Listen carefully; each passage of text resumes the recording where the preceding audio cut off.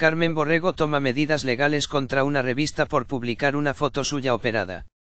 Kiko Matamoros alucina con su actuación, pero sí ha comerciado con todo de arriba a abajo. Carmen Borrego se está recuperando de su operación de papada y párpados y a la vez ha emprendido medidas legales contra una revista por sacarla en portada con una imagen tomada dentro del hospital, algo que contaba esta tarde Terelu Campos en Sálvame. Según han recogido nuestros compañeros de exclusiva digital, Terelu Campos decía.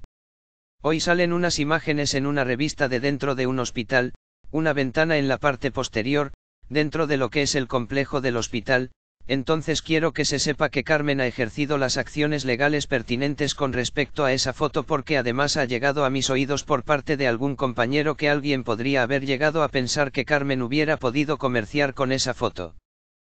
Bueno, nada más lejos de eso sino que yo soy testigo de cómo anoche, cuando se nos manda la portada de esta revista, Carmen delante de mí manda un mensaje a la dirección de esa revista diciendo que esta mañana su abogado se pondría en contacto con ellos, simplemente.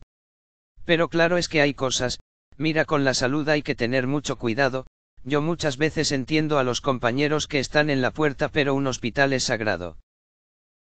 Pero lo que parecía una exposición que se iba a quedar ahí, sin réplica por parte de nadie, ha coincidido con la entrada de Kiko Matamoros en Sálvame quien decía a Carlota Corredera.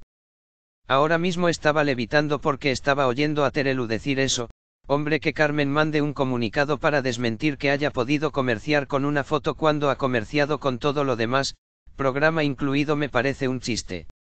Lo estaba escuchando y decía pero nadie le dice nada.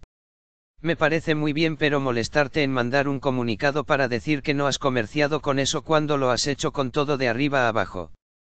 Según se puede ver en el vídeo publicado por la web de T5, tras esto, Terelu se ha mostrado muy enfadada con el comentario de Matamoros, dirigiéndose hacia el director del programa con cara de pocos amigos, pero Matamoros ha continuado con su discurso.